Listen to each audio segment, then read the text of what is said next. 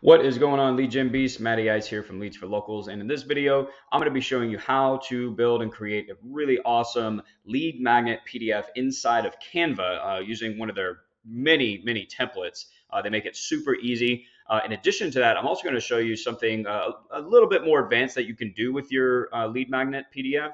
Uh, like instead of just sending them a PDF, your prospects a PDF document, um, you can actually send them to a web page that contains and, and has your lead magnet embedded right onto the page inside of your funnel. It's actually how I like to do it, but I'm going to show you both ways. Uh, we're going to cover what makes a really good lead magnet as well, because obviously you want to make sure that you're creating a lead magnet that's um, provides high value, has uh, high impact, it positions you as the authority, and it makes uh, it makes your prospects want to do business with you, right? So make sure you stick to the end because uh, I have some really good stuff in this video. Uh, having a lead magnet in your business is one of the most important things, uh, in my opinion, because it's what uh, attracts. Uh, it's an easy way to attract people into your business. So um, as always, though, uh, if you don't mind, please, uh, if you find the video helpful, smash that like button. Uh, make sure you subscribe. Check out the links in the description. I always have some really good uh, stuff for you guys there. make sure you join the Facebook group, all that good stuff. All right. So the first thing I want to start with actually is let's talk about what makes a really good lead magnet. Uh, because th- this kind of sets the foundation for what you're going to create inside of Canva, right? You want to have a game plan for what your lead magnet is going to be about, um, who it's going to speak to, things like that, right? Now, uh, this is just what I do in my in my agency. So uh, any type of lead magnet that I create, um, nine times out of ten, I always have it for a very specific audience. For example, uh, for my SaaS product right now, uh, it's called Elite Broker and it's a marketing CRM specifically for business loan brokers. All right. So I have a lead magnet right now that is a free business loan lead generation masterclass. And it's uh, it's right in the name. It's specifically about business loans. So the more uh, niche down and targeted you can get uh, when you're creating your lead magnet and just the audience in general that you're going after, uh, the more impact it's going to have. The better uh, your lead magnet is going to do. The more desirable it will be. Uh, it should solve a very specific problem or teach something very specific. Again, going back to my example of the uh, the business loan lead generation masterclass. I'm starting with lead generation, even though you know my my SaaS product provides a lot of other different things other than just lead generation. That's the entry point, right? So you want to think about the the best possible entry point for your specific uh, audience and then, you know, later on when they sign up for your product or service, you can bring all these other things in and, and talk about those if, if you want. But you want to start with one specific problem or teach something very specific. And that comes down to knowing the the biggest problems of your uh, that your audience has. So you need to know what that is, and that's how you you kind of constr- you basically construct your lead magnet uh, uh, around that. All right, and it should contain three to five main bullet points or subtopics of uh, what you're teaching here. Right, I'll give you an example uh, outside of, or a different one. A different example is uh, anytime I create a lead magnet for like Facebook ads, right? And I'm sharing my Facebook ads formula. There's usually three main bullet points that I'll talk about. So the lead magnet will be about how to generate leads using Facebook ads or something along those lines. Uh, and then you know specifically for whatever industry, okay. But then I'll break down my like the like just the main bullet points of what I do to generate leads using Facebook ads for that particular industry. And it, will come down to the actual Facebook ad itself, which is the ad creative, the targeting, the uh, you know the ad copy, the lead form, right? So I'll talk with you know one or I'll do like one or two, maybe three sentences on that, and then uh, the second one would be the the funnel, and then the third uh, bullet point or subtopic would be the follow up, right? So you're basically just sharing your your formula, kind of like a thirty thousand foot overview of your formula, uh, your process, you know, however, whatever it is that you do to solve the problem that your lead magnet is is talking about. You break that down into three to five uh, bullet points or subtopics, right? Um, it, it works really well. Uh, it should showcase your product or service as well, guys. Uh, ideally, anyways. Uh, you know, it's great to to teach people uh, as a as an entry point and things like that. But uh, at the end of the day, you know, you're in business. You want to get clients. That's the point of a lead magnet. So you want to try your best. I mean, it shouldn't be that difficult, really.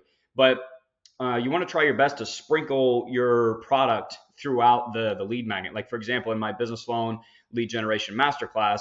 I'm uh, there's there's multiple times in that masterclass that I show people elite broker, like how elite broker makes what I'm teaching very easy for them to implement in their business, right?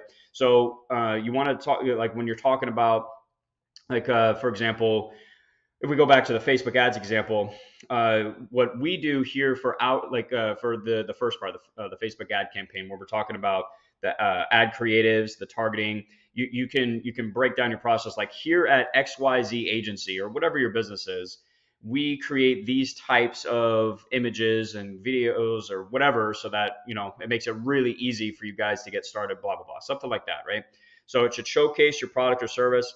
Uh, have call to actions throughout the, the the lead magnet. I'm going to show you how to do that uh, inside of canva as well as when we take the, uh, the lead magnet put it on a web page and then also i, I wanted to throw this in on, on, on as kind of like a side note to use as uh, inspiration. So maybe if you're getting uh, just getting started and you're trying to figure out, okay, what should I create my lead magnet about? You know, should it be you know uh, about Google My Business? Should it be about reputation management?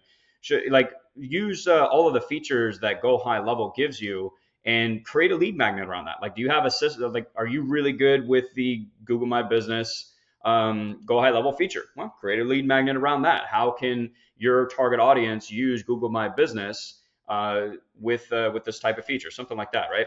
So this uh, the the Go High level features can give you a really good inspiration about what to create your lead magnet uh, about as well. So just want to throw that in on the side. Now let's actually get into how do we how do we create the lead magnet itself. Now that we know that like we we've gone through these these steps here for uh, you know creating the foundation for uh, what we want our lead magnet to be. How do we actually create it? So I have a template pulled up here in Canva, and actually I'm, I'm going to go back to the home page and all I did here, so let's uh, let's go back to. Uh, I'll just kind of start from scratch here. Here's the thing, guys. I don't ever recommend creating anything from scratch. Like you don't want to go in create a blank design. Like it's just not. It's it's just for me, it's not a good expenditure of time because Canva has so many awesome templates that you can use. It, this this software is just amazing. I absolutely love Canva. It's only 13 bucks a month. They have a free version, but I, I highly recommend you upgrade. All right, now if we go into the search uh, box here and just type in professional presentation or presentation, whatever, this is what you're looking for right here. Professional presentation 1920 by uh, 1080 pixel. All right, so if we click that, it is now going to bring up uh, just a ton of templates that you can use. And here's the thing, guys: one is not better than the other. Don't don't overcomplicate this like uh, you know try like where you're trying to find the absolute perfect design or whatnot it should maybe match your brand colors or whatever but just go through a couple of these here really quick if you if you hover over them it'll kind of start going through the slideshow so you can see what's inside of these and uh, all, all we're doing is we're finding a template that we like and then all you're going to do is customize it to your lead magnet that is it that's literally all you're going to do so the one I found here, uh, if we scroll down, honestly, it really doesn't matter. Uh, I don't even know if I'll spend the time trying to find it again. We can just use a different one. Um, so I'll do. I want to. Yeah. Okay. Yeah. So I want. I want to get one with um, with photos, but. Um, anyways, you know what? I'm just I'm just gonna use the one that I that I have pulled up here. But um, it's so easy to customize this, guys. You can literally just keep the template as it is, and of course, uh, you know, you, you don't like like this one has what is it, 25 like 26 pages.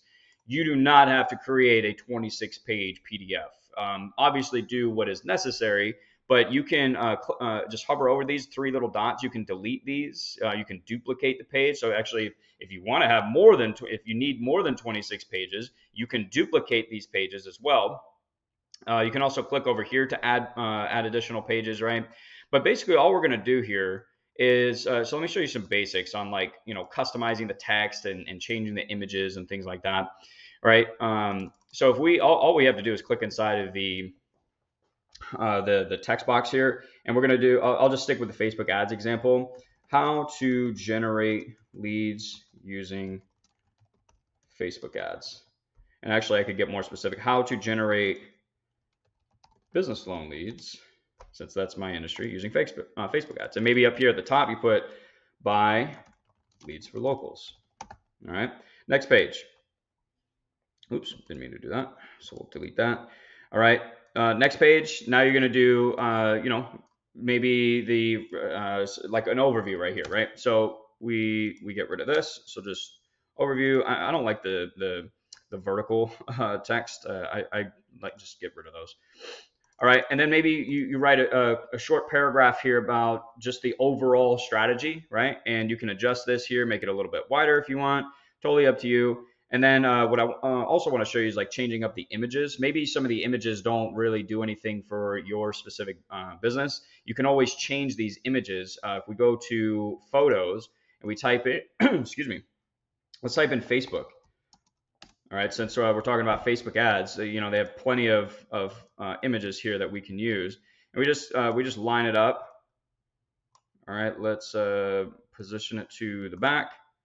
Let's get rid of these. Uh, whoops, I didn't mean to do that. Uh, let's hit the back button or undo. All right, there we go. Uh, that's uh, not a very good uh, layout, but you get the point. All right, so just find an image that, eh, that's a little better. Find an image that works for you. The other thing though that I want to show you guys is the call to action part here. Okay, so you, you can figure out the design. It's like Canva is really easy to use uh, as far as customizing their templates. Those are just some of the basics.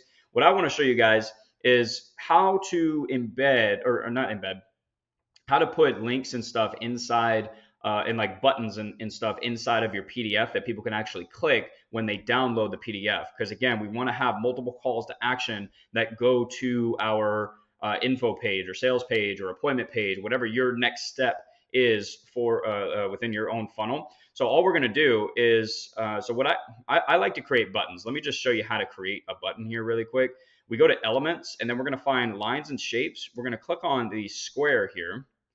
And let's just say we want to turn this part, this piece of text, whoops, this piece of text right here into a button. So we're going to line it up. Let's make it a little bit smaller.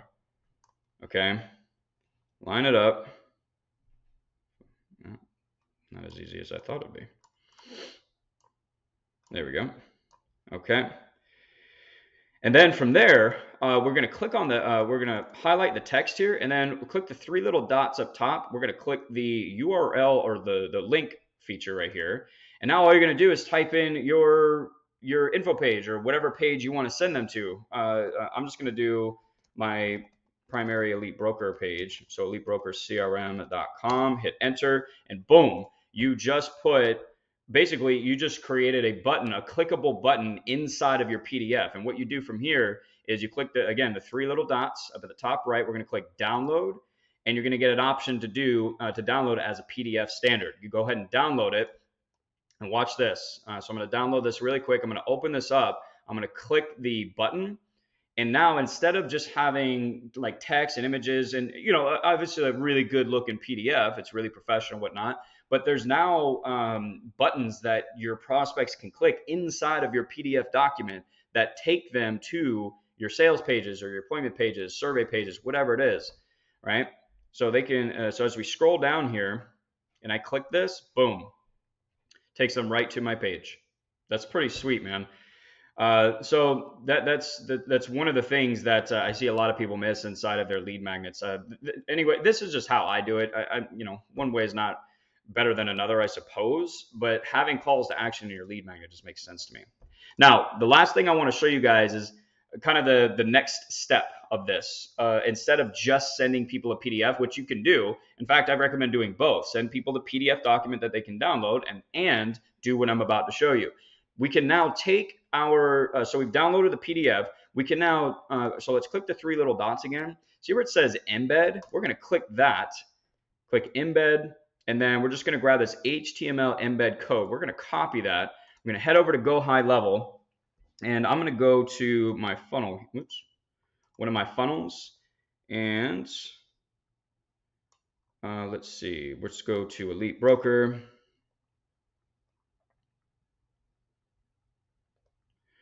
All right, I think I already have a test page. Yeah, so you just uh, create a new a, a new page inside of your funnel. All right. And let's go ahead and open this up.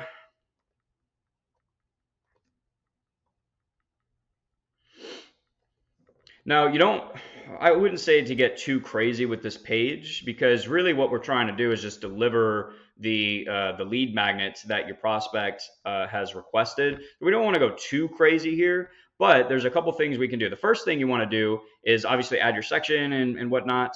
Um, and then the element that we want. So we click on elements, add element. We want custom HTML. That's what you want. All right. That's what's right here. All right. And we open uh, the code editor. You paste that embed code in, click save. All right. So I already have mine in here. And then let's, uh, so let's make sure it's saved. And now let's preview it. And now your lead magnet is going to be displayed on a web page inside of your funnel. Can't tell you how powerful that is. It's really, really cool. All right. Now there's a, couple of other things that you can do here. Uh, so I, I, had a different, uh, I, I, was testing this with a different uh, template earlier, so that's why it doesn't match. But it's uh, the, the same thing here, right? So that they can now uh, basically go through this slideshow presentation here now, a couple of other things you want to do though, if you're if uh, when you do something like this, we're going to add another element. At the very least, I would say you want to have your logo at the top. So let's move that up above the lead magnets. All right. So we're going to click image. We're going to insert. Uh, we'll just find a, uh, one of the logos here that I use. All right. Double click. It's going to insert. And then below that, maybe you also have a button so in addition to having the calls to actions uh, inside of your um, uh, inside of your lead magnet, you can also add a button below it uh, and actually above it too. I'll show you how to do that. Uh, where what am I missing here? Where's the button? There it is. Jeez. Uh, and now what we can do is so we'll click the button, click here to you know book your strategy call or demo call or you know request your custom plan whatever it is right? And and you can now you can literally just link this to a, a step inside of your funnel and it go it'll go right to that page. It'll go to your sales funnel. All right uh, so it's really really cool. Another uh, let me show you something really quick too because it's kind of a big like if we look at this this is kind of a big lead magnet. They're probably not going to see the button below this though a lot of people will scroll down and they'll see it. But uh, uh, another thing we can do is add a two column row here. Whoops want that above. There we go, at the top. And we can take our logo right here, and then we can move the button next to it. Right, so now everything is above the fold. So now let's save this and preview it now. Boom. So you have your logo and a call to action button above the fold, above the actual lead magnet, so that the you know this is one of the first. Well, this is the first thing that they see, right? And uh, you you always want to make sure that you have your lead or not your lead magnet, um, your call to action link or button or whatever somewhere visible as soon as they get on the page, if at all possible, right? Um, so that's pretty much it, guys. I don't want this video to be too much longer, but this is how I I create my lead magnets. Um, you know, I have like master classes and stuff that I do, but all the master classes that I create, I nine times out of ten I use these Canva templates in order to do it. Uh, I'm, and I'm definitely going to be adding uh, some like different PDFs uh, as lead magnets into my business as well, in addition to the the masterclass. You know, maybe they can download the presentation or something like that, right? It's just uh, something else that I can give my prospects. So really powerful, guys. Uh, I leave it to your imagination to you know design the page or whatnot. From there, all you're doing is emailing the PDF and the link, and you're good to go. You've got a you, you have an awesome lead magnet. So, uh, what do you guys think about this? I, I think this is really cool. Uh, I just I absolutely love Canva for this. They make it so easy to create really powerful marketing assets in our business. So, what do you guys think? Leave a comment down below with any feedback or questions. If you want me to do uh, like dive into this any deeper or whatever, right? Just let me know. Uh, smash that like button. Make sure you subscribe. Join the Facebook group. Hope you guys are crushing it, and I will talk to you in the next one. Peace.